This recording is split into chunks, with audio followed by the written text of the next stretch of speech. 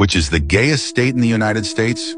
Most Americans don't know that the U.S. state with the lowest percentage of LGBTQ plus population is North Dakota.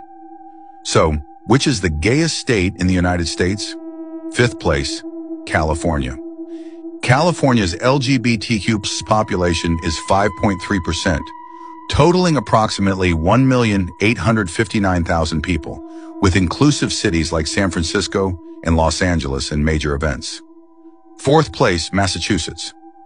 Massachusetts has an LGBTQ population of 5.4%, around 370,000 people, with a strong community, especially in Boston, and a pioneering rights history.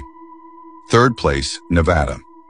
Nevada's LGBTQ plus population is 5.5%, about 220,000 people, with a vibrant scene in Las Vegas, including pride festivals and LGBTQ plus friendly venues.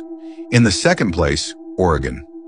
Oregon's LGBTQ plus population is 5.6%, approximately 250,000 people, with a strong community in cities like Portland and year-round supportive events.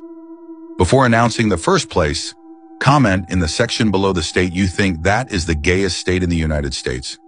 The place ranks first with LGBT plus population is 9.8%, around 70,000 people, attracting a large community with its open and supportive environment.